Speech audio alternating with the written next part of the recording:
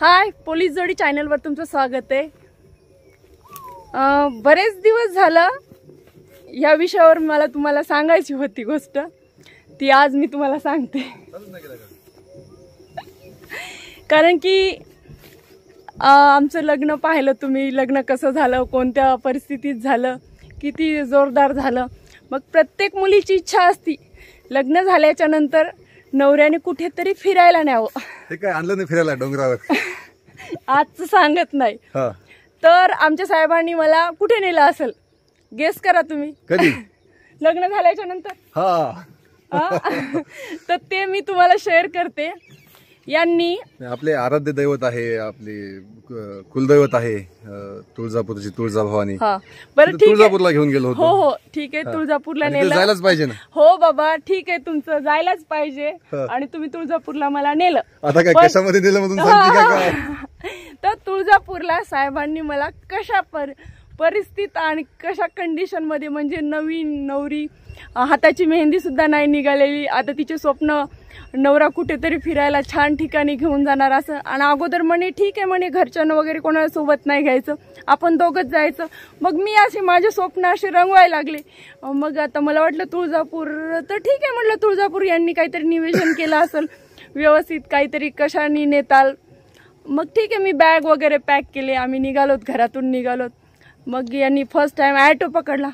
मग म्हणलं ॲटो पुन्हा मला वाटलं रेल्वे स्टेशनवर काही किंवा एखादी ट्रॅव्हल्स काही बुक केली असेल किंवा गाडी केली असेल. काय?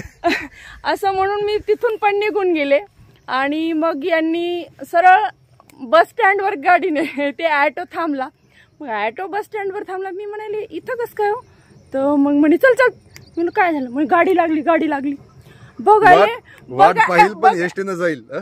सुरक्षित प्रवास राज्य महामंडळाचा प्रवास. त्याच्यासारखी सुरक्षितता नाही हो कुठं. तुमच्या तुमच्या गंतव्यापर्यंत तुम्हाला एकदम व्यवस्थित सुखरूप घेऊन जात असेल तर आपली लाल परी घेऊन जाते. बाकी कोणी नाही घेऊन जाऊ शकत ठीक आहे ते मला पण माहिती घेऊन जाती. पण तुम्ही नवीन फिरायला नवरीला घेऊन जायचं म्हणजे तुम्ही कोणी आतापर्यंत मला तरी माझी मैत्रीण जाऊ द्या कोणी सुद्धा गेलं नसेल आणि मी पण विशेष मी जेव्हाही कुठं जात होते मला बसचा प्रवास सहन होत नव्हता त्याच्यामुळे मी कधीच बसनी जात नव्हते. तुझ्यामध्ये ती क्षमता यायला पाहिजे म्हणून घेऊन गेलो ना मी. बस करा तर मला अक्षरशः त्या बसमध्ये बसल्याच्या नंतर. जे तिथून बसलो तर तुळजापूर येईपर्यंत मी त्यांच्याकडे पाहिलं नाही आणि बोलले पण नाही. नाही हे हे थोडं जास्त झालं? कारण की माहितीये का इतकं असं रडायला एक दोन- वेळा म्हणली होती तू असं बसमध्ये नेत असतात का म्हणून खोटं नाही बोलायचं. मग तेवढे तर ते आता देणारच झाले ना. ते माझ्या भाषेमध्ये व्यवस्थित बोलले होते त्यांना. नाही मग इकडे बघ ऐक तू. आता पाच हजार रुपये पगार असणाऱ्या माणसाकडून तू जर मॉरिशसला घेऊन जा म्हणून अपेक्षा करशील तर ते कसं शक्य होईल? मी तुम्हाला मॉरिशसला म्हणलं पण नव्हतं. त्यावेळेस? आपलं त्यावेळेस आपलं वेतन किती होतं? आपली पाच हजार होतं का? काहीतरी खोटं. बोलायले हो. लागले तेव्हा तुम्ही नऊ हजार आठ हजार वर लागले आपली आपली ग्रॉस सॅलरीच त्यावेळेस पंधरा हजार होती अस्मिता. आणि आपल्याला मग हातामध्ये नेट अमाऊंट त्यावेळेस किती? ब- आठ नऊ हजार रुपयापर्यंत पडायचं आपल्या हातामध्ये. अहो ते प- तुम्हाला इथं पगारचं कोणी विचार ना काय नाही. तुम्ही चाल मग नेला कसं? खर्च करायला तुमच्याकडे अहो, तुमच्या- सोर्स पाहिजे ना शिल्लक राहिले ना तुमच्याकडे तुमच्याकडे वीस एकर जमीन होती त्याचं काय? अहो, सांगायला तर हो आमच्याकडे वीस एकर जमीन आहे बागायत आहे. आणि नेतात कुठं? नवीन नवरीला? बसनी अनुभव अनुभव पण चांगले चांगले पाहिजे आणि आणि- आयुष्यभर लक्षात राहणारे पाहिजे. तुझ्या राहिली की नाही ही गोष्ट लक्षामध्ये सांग बरं. तुम्ही इकडे बघा माझ्या लक्षात राहिलं सगळं झालं. पण यांनी मग ते तेवढाच प्रवास झाला आमचा. मग गेलो तुळजापूरला दर्शन वगैरे घेतलं तुळजाभवानीचं त्याच्यानंतर मग आता यांना कळालं. मी म्हटलं आता पुढं जर जायचं असलं तर मी काय बस येणार नाही मी इथून वापस घरी जाते. मग त्याच्यानंतर मग रात्री मग म्हणे काय करायचं काय नाही? मग मी सांगितलं ट्रॅव्हल्स बुक करा किंवा रे ट्रेनचं रिझर्वेशन करा किंवा एखादी गाडी बोलवा. तर मग कसं तरी ट्रॅव्हल्सचं बुकिंग केलं आणि तिथून तुळजापूरहून कुठं? कोल्हापूर. कोल्हापूर. मग तुळजापूरच्या देवीचं दर्शन झालं कोल्हापूरच्या देवीचं दर्शन झालं. पन्हाळा किल्ला. हा. पन्हाळा किल्ला त्याच्यानंतर?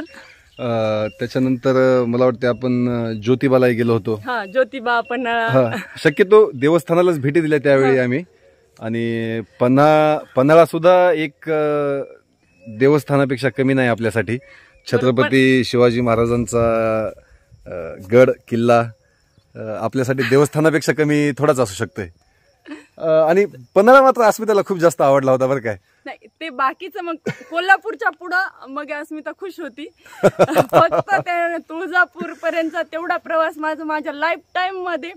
पण नंतर त्याच्यानंतर जवळचा जवळचा जवळचा प्रवास होता अस्मिता ते जवळच्या प्रवासासाठी आपण आपल्या सोयीनं आणि लवकर उपलब्ध होणारी गोष्ट बघितली ना आपण तेव्हा. असं कसं म्हणतो तू? तुम्ही. आपण म्हणूच नका मला त्यातलं काही काही सुद्धा माहीत नव्हतं. मी तर असं विचार केलता नवरा फर्स्ट टाइम न्यायलाय.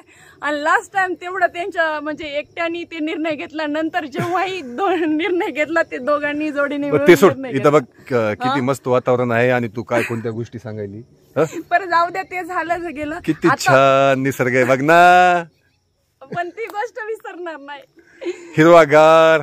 फ्रेंड तुम्हाला ते कळायला असेल ना साहेब आकाश. आकाश बघ किती छान दिसतंय वर. आकाशचं जाऊ द्या होते आकाश दिसतंय प्रकाश दिसतंय सगळं दिसतंय. पण तुम्ही किती भारी होतात. नाही काही गोष्टी वेगवान घडामोडी झाल्या त्याच्यामुळं नियोजन तेवढं सुटेबल नाही करता आलं. एक वर्ष एक वर्ष वेग झालता तुम्हाला माहिती लग्नाला. एका वर्षामध्ये साहेबांनी नियोजन काय लावलं? तुळजापूरला ते पण बसनी. नाही पण त्याच्या त्याच्यानंतर तुला त्याच्यानंतर कंप्लेंट करायला संधी मिळाली त्याच्यानंतर मी सांगितलं ना त्याच्यानंतर जो जो निर्णय घेतला ते जोडीने दोघांनी मिळून घेतला. त्याच्यानंतर साहेबांनी निर्णय कधी घेतला नाही जोही घेतला तर दोघांच्या सहमतीने आम्ही केलं. हिचं काय ऐकू नका बरं काही पण नाही, सांगते. नाही, खरं बोलले हो मी. एवढंही खरं बोलायचं नसतं रे. अरे वा माझे माझ्या आयुष्यात हिला बोलूच देत नाही मी आता. जे काय आहे ते खरं बोललंच पाहिजे ना. म्हणजे तुम्ही असं गप्पा गप्पा मारलाय बस. पहिला आज आज थोडा काळा दिसायलो का मी? नाही तुम्ही नेहमीच काय दिसता साहेब चला. नाही असं वातावरण- होत होत असतात गोष्टी काही काही नाही, कमी मी जास्त. काय म्हणते आता नाराज थोडंच येते नवरा बायको संसाराचे दोन चाकं असतात एकमेकाला सांभाळून घेतलं पाहिजे. एक चाक जर खोलात असेल तर दुसऱ्या चाकानं सांभाळून घेतलं पाहिजे हो. अहो साहेब आम्ही तुम्हाला सांभाळूनच घेतले असं काही नाही. पण माझ्या म्हणजे अशा खूप दिवसाची मला सांगायची ती गोष्ट होती. मी वाट पाहत होते. लग्नाचा व्हिडिओ कधी संपल आणि तुम्हाला ही कधी म्हणजे सांगल. अरे तू गोष्ट सांगितली का? माझा अपमान केला? रे एवढ्या लोकांसमोर.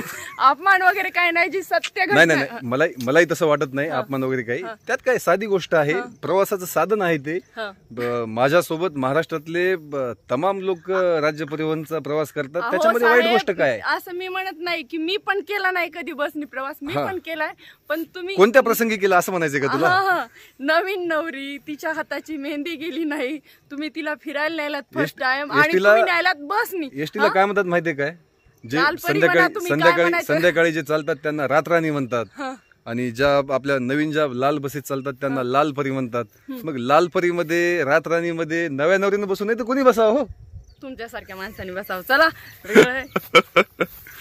नाही पण अं, कसाही असो सुरुवातीचा तेवढा भाग सोडला तर पुढं नंतरचा टूर बाकीची अतिशय छान आणि झाला बाकीचे होता अ, भरपूर असे टूर केले नंतर साहेबांसोबत.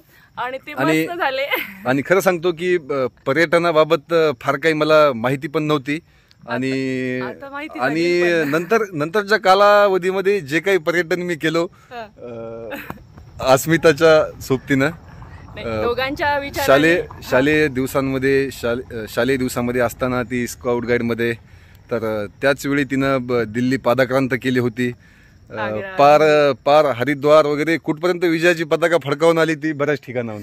हो आम्हाला हरिद्वारला एपीजे अब्दुल कलामकडून राष्ट्रपती पुरस्कार भेटला होता स्काउट गाईड आणि तिच्या अनुभवाचा आता नेहमीच उपयोग होतोय आम्हाला. आणि आता? सध्या तरी आमच्याकडे तेवढा पुरेसा वेळ नाही पण लवकरच कुठंतरी बाहेर पर्यटनाला अजून एकदा घेऊन जाईल मी आता. आणि हिची जी जुनी चिंता होती किंवा जुनी तक्रार. जुनी तक्रार जी होती ती शंभर टक्के दूर करण्याचा प्रयत्न. शंभर टक्के प्रयत्न करील दूर करण्याचा. काय म्हणतो? Okay okay. चला तर बाय. भेटू पुढील व्हिडिओमध्ये तर ही आमची त्यावेळेसची काही छायाचित्र आहेत. तर बघून घ्या. जुन्या आठवणी आमच्या. Thank you. कोल्हापूर. वेलकम